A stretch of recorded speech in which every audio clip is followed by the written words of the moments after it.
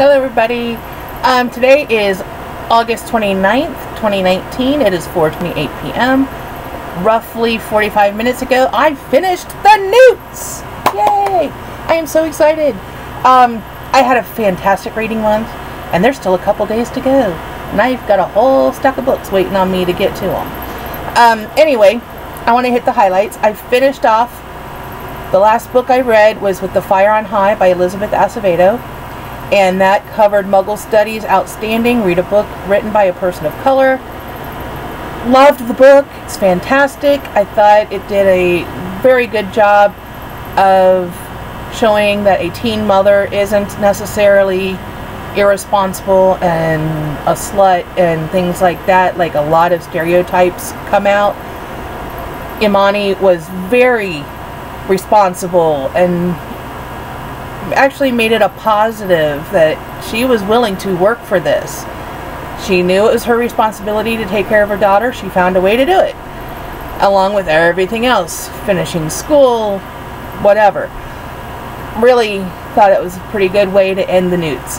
Um, I was going for Alchemist, which was only 17 prompts that I had to finish. I finished 36 because I'm insane and a completionist, and that makes me an outstanding al alchemist, I guess, if I got outstanding in all subjects. Um, really glad I was able to pull it off. My shortest book, oh, I had one at 96 pages and one at 97 pages. Um, 96 pages is a book called An Outhouse by Any Other Name. Um, I used that for read a paperback book. I, it was very short. It was a a book about outhouses in Arkansas. A photographer that lives in Arkansas took pictures of outhouses. Really nice, beautiful photographs. Kind of things I would have shot had I the you know place to go.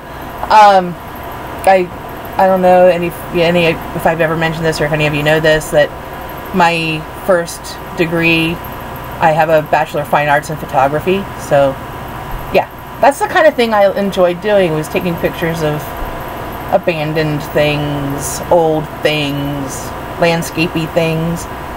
Um, so that really appealed to me because the photography style is very similar to what I would have done. And it was a very quick book. Um, one side would be the photograph, and then the other side would be you know, the caption about the photograph and a little saying or verse or something that kind of tied into what was going on. So that was kind of fun. Kind of a different book. Um, some highlights. I read The Phantom of the Opera for about the seventh time. Still love it. Still five stars. Still my favorite book of all time. Still probably the most amazing love story I've ever read. Um, yeah. A uh, couple that I wasn't crazy about, and it's interesting that they were written by brothers. Um, the first one was An Abundance of Katherines. I really like John Green's writing. And it wasn't the writing style, but I think it was the subject. I just did not connect with the main character. And there was so much math dumped in there. And it, that just turned my brain off and kind of it was a fight for me to finish the book. It really, I couldn't find it on audio. Probably because of all the graphs and math equations and stuff. How do you read a graph? You know, as an audio thing. Um, kind of need to see that visually. And the other one was uh, an absolutely, an absolutely remarkable thing. It was an alright book. I think I gave it three stars. Um, where I gave an abundance of Katherines two stars. Sorry, John Green. Love your stuff, but not that one. Wasn't for me. Um, uh, just absolutely wonderful thing, absolutely remarkable thing wasn't for me either. I I'm not a big sci-fi person, and I needed a sci-fi book. And I thought, oh, I haven't read this yet. Everybody's talking about it. Sounds supposed to be really good. It was all right. I'm just not a sci-fi person. So I don't feel qualified to really discuss it that much. It just, it wasn't for me. It wasn't my kind of book. Now, I did love some things that I read that I wasn't expecting. Um, a couple of things that I, I really didn't know much about. One called Sorcery for Beginners. I was pleasantly surprised. Um, I looked at it and I thought, oh, it's going to be like a Harry Potter ripoff, but it really wasn't.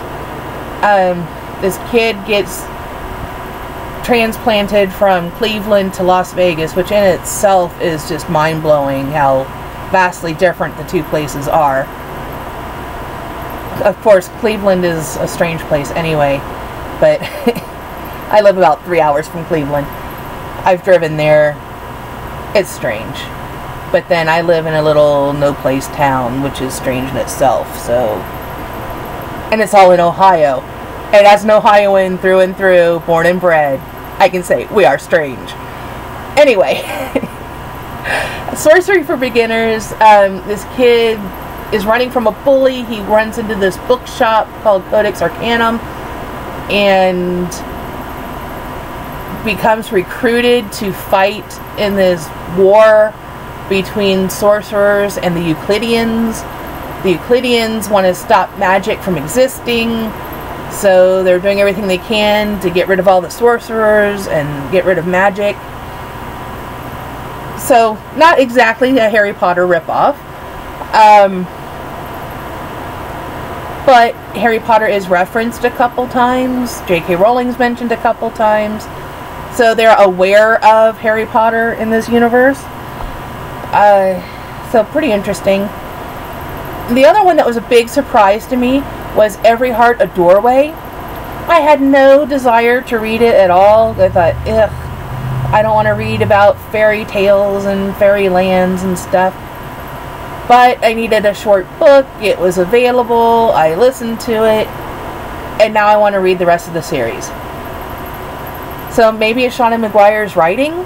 Maybe it was just that good of a story because I'm not big on fae and fairies, but it wasn't that, and I kind of had it in my head that that was going to be the bulk of it.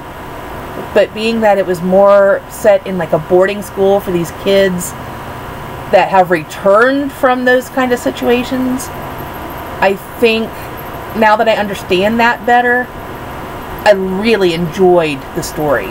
So that was a very pleasant surprise for me and yet another series for me to start reading. Um, another series I started because of this readathon, and also it was um, recommended about a bazillion times from by Leanne from Literary Diversions. If you have, don't watch her, start watching her. She's fantastic. I absolutely love her. Um, but she keeps talking about the Lockwood and Co. series. It's a mystery series and I read the first one called The Screaming Staircase. Absolutely loved it. Looking forward to getting a hold of the next book. I think I have it requested on Overdrive. That's the problem. I've got so many books requested, I'll never get through them all.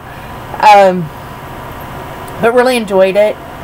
It had things that I love haunted houses and ghosts and spooky stuff. I, it is, I don't know, paranormal mystery, I guess you could call it. I really enjoyed it. Um, also enjoyed Heretics Anonymous, which I wasn't entirely sure, again, what to expect. Absolutely loved it. it there was so much humor, and the one liners were just fabulous. Um, so, totally enjoyed that.